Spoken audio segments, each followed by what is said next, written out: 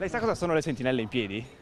No, beh, è un movimento che difende il matrimonio tra uomo e donna, evitando... Noi ormai Siamo già sposati. più da 50 anni insieme. Quindi, eh beh. Non abbiamo bisogno di altro. Eh, invece cosa pensa dei matrimoni più recenti tra uomo e uomo, donna e donna?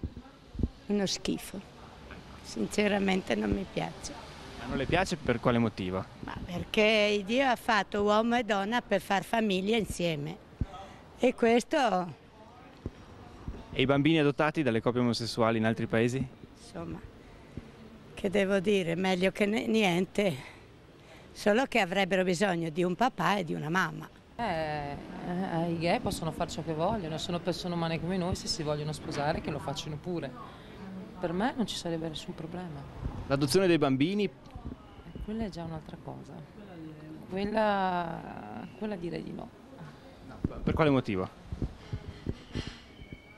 Mm, ma il motivo sarebbe praticamente che magari loro, essendo così, gli possono trasmettere magari la mia idea, posso anche sbagliarmi, eh. Gli, gli possono trasmettere magari le loro idee, le loro cose e magari il ragazzo sentirsi un attimino eh, più spinto verso... Confuso. Ecco, bravo, sì. Me possono anche farlo, sono, libero di farlo. Con, con i medesimi diritti di un matrimonio, diciamo, normale? Perché no? Quindi si può pensare a una famiglia che non sia basata solo su uomo e donna? Sì. Perché no? se alla fine, anche se adottano un bambino così, alla fine se il bambino sta bene l'importante è quello, no? Ognuno è libero di fare quello che vuole, nel senso. Quindi con i medesimi diritti, diciamo, di una famiglia, chiamiamola così, tradizionale. Sì, io penso di sì. Io la penso così almeno. E per i bambini? Eh, per i bambini eh, basta che crescano con, eh, con il giusto, con il giusto... Esatto. Non cambia secondo me.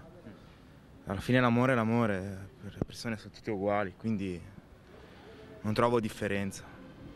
Quanto si può ancora prendere alla lettera, diciamo, il precetto della Bibbia e i precetti cristiani, adesso al di là magari di- dei matrimoni? Eh, quello alla fine va da persona a persona. Chi come magari è nato, che aveva dei genitori che lo portava spesso in chiesa, magari si è predisposto di più ad andare e a seguire un orientamento. Quello va a seconda di persona a persona. Si può ancora considerare moderno? Ma moderno penso che non si possa nemmeno definire, neanche una volta. Perché alla fine la religione va da quello che si sente dentro, penso. Poi io non sono credente, quindi non ti so dare una risposta ben precisa. Ti posso dire come ragiono io riguardo a questa cosa. Come ragioni tu riguardo a questa cosa? Che io non sono credente, quindi non ci penso. Cioè io sarei pro per queste cose.